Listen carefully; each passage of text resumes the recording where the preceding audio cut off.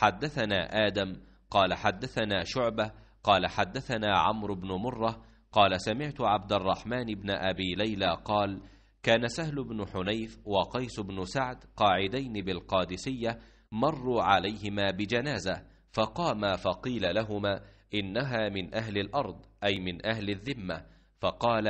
إن النبي صلى الله عليه وسلم مرت به جنازة فقام فقيل له إنها جنازة يهودي. فقال أليست نفسا